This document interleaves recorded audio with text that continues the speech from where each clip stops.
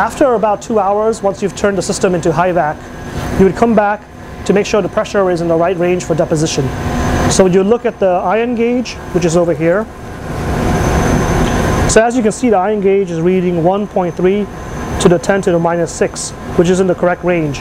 You want the pressure to be in the mid 10 to the minus 6 range. So that's what it is. And now, before we can uh, deposit and turn the power on, we want to make sure we turn the water on. The water is used to cool the crucible, and the crucible is heated by an electron gun. So to turn the water on, we have the switch right here, and we would turn it to flow the same direction as the pipe. So this is how you turn the water on. And you can verify this water has been turned on by looking at this spinning wheel. So if it's spinning and the pipe is turned on, you know that the water is running. So if the pressure is in the right range and now the water is uh, turned on, you can turn the power supply on. So this is the main power supply. You would turn this on. And then you would turn the key to the on position. So these would all light up. These bulbs are out right here, but it actually is lit up. And then you would turn the high voltage on. So now you can program the thickness monitor.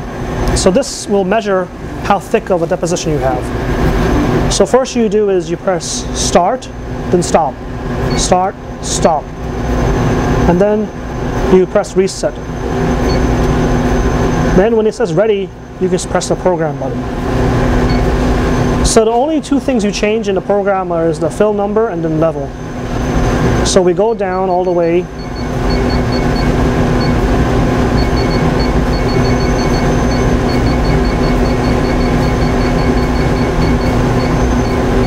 So when we're at the film number, we're trying to do titanium, so you put one.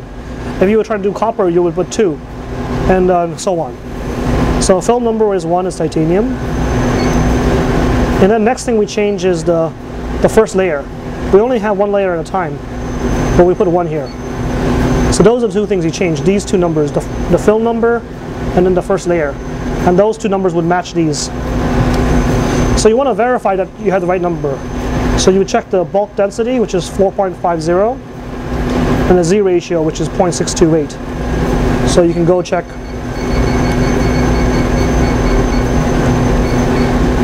So density is 4.50, that's correct. And then 0.628, that was correct. So now we know we programmed it right. So you would press program again. Now you're back on the main screen.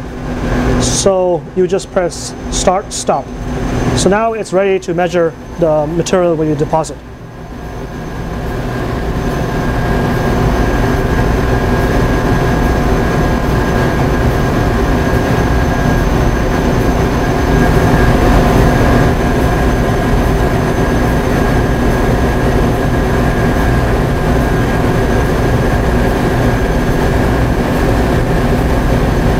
So now what you'll do is you'll start the deposition. So the deposition is started by turning on the current. So the current switch is right here. So before you turn the current on, you want to make sure the, the knob is all the way to the left. That way there's no uh, jumping starting from zero. So you make sure it's all the way left, then you turn it on. So you, if you, you, you should know the, uh, you should start increasing the current slowly. You know your uh, target current level, by looking at either uh, other people's notes or have your own knowledge or talk to staff. So titanium, usually people do at 0.06. So that would probably be three ticks on there. So we know that that's where the deposition is at. So we'll start increasing the, the current slowly.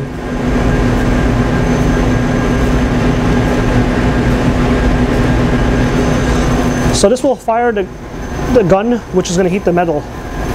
So we can look at the positioning of the beam with this thing.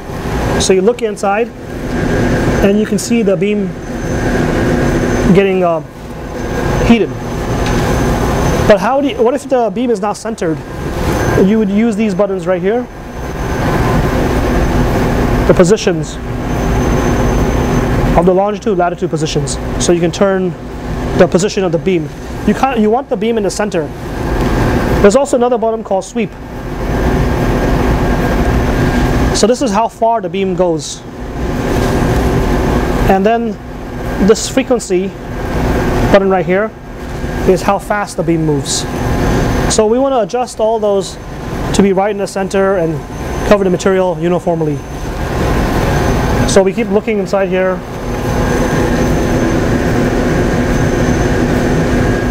Uh, when you do chrome, you, you won't see it melt because it'll go from solid to gas without melting. So with that, you would watch the pressure change. So chrome absorbs moisture, so if you see the pressure drop, you know that chrome is uh, getting evaporated. But most of the other materials, you can see it actually melt in there. But also always check the reference and ask other people what the material properties would be. Or if you haven't done it before, it's good to watch somebody else do a material that you haven't done before so you can learn at what current and what it looks like to, to open the sh shutter for deposition.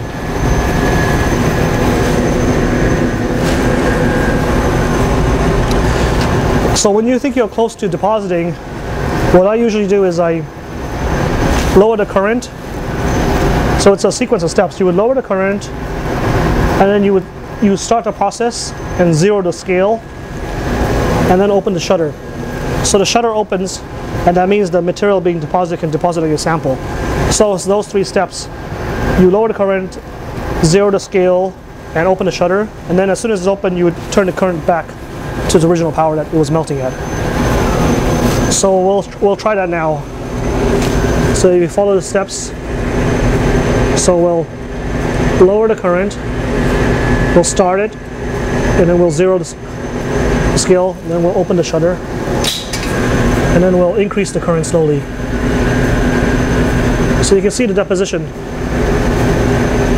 So this is how fast is de depositing, angstroms per second. And this is how much is being deposited.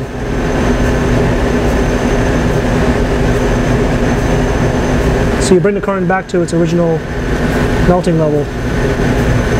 You can see it's depositing at 0.1, 0.2. So we try to keep, in the beginning, we try to keep the current at around like maybe 0.4 angstrom per second. Then after you've deposited about 100 angstroms or 200 angstroms, you can increase the current. So your rate is now about 1 angstrom per second. So you can watch the rate here. So we're depositing at 0.7, 0.7 angstroms per second, this is how much we deposited. So when you've almost reached the deposition amount that you want, so we're going to go for 200 angstroms. So we want to end it when it reaches 200. So we'll slowly start decreasing the current power. So when you're almost at 200, and then when you reach there, then you would turn the current off, and then turn the gun off, then turn the high vacuum off, high voltage off, and then you would turn the keys off and then turn the main power supply off. So when you've all done that you want to let the crucible cool with the water. So we let the machine and the water be on for about 10 minutes and then we come back and then we'll turn get a sample out so now that the chamber has uh, cooled down we're ready to open it the cooling down period depends on your substrate uh, some materials might oxidate or some might uh, have a lot of stress and peel. So it depends on your substrate, I mean your material depositing, how much time you should cool. But a good number is about 20 to 30 minutes. Let the material cool with the water on. So now that the system is uh, cool, it's important to turn the water off before we actually open the chamber and vent it. So the, turning the water off is the same process as turning it on. You would just turn this knob. So you would turn it to the closed position now. So now that the water is turned off, you, and you can verify that the wheel is not spinning, you can start venting the chamber. To vent the chamber, you need to close the high vac. So the high vac is this switch right here. So when we close it, we're going to watch for the pressure change.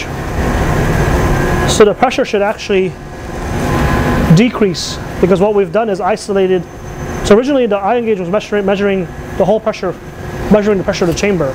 But once we close the valve, it's measuring the pressure of the pump, which is less than the whole chamber. So what we're going to do is we're going to close the uh, high vac, and then we'll see the pressure decrease. So sometimes it doesn't close right away. If it doesn't close, you can call staff and they can help you actually close it. But as you have you, it seems it just closed. So you can see the pressure has decreased from original number. If you had heard that noise, that you can hear the valve close. So that valve has become a little, it's a pneumatic valve, so it's become a little sticky. That's why there's a delayed reaction. But if, you heard the noise and then you watch the pressure change, now you know high vac is closed and you can actually vent the chamber. So to vent the chamber, you would turn the vent on, which is right here. And you would just wait for the pressure to reach 7.4 to the plus 10 to the 2. And then you can also feel the air out here when it reaches that pressure. So we'll wait a little bit. You can see the pressure gauge. So you want 7.4 to the 2. So wait for that number. So once the pressure the, has reached 80 atmosphere, which can be seen here, ready to open a chamber, you can also verify this by the air blowing out here. You'll feel air. That's the nitrogen being pumped out because it, the chamber pressure is equal to the outside pressure. So we're going to open the chamber. So we'll turn the vent off.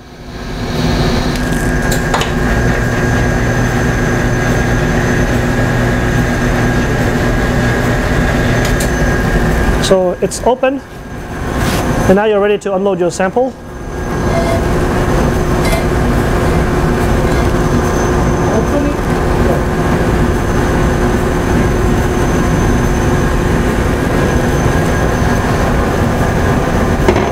And here's your wafer that you can take out.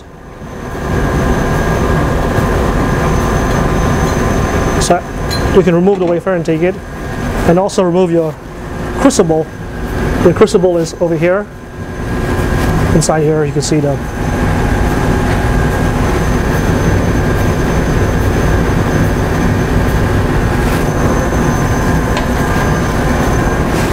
and then you would uh, close the shutter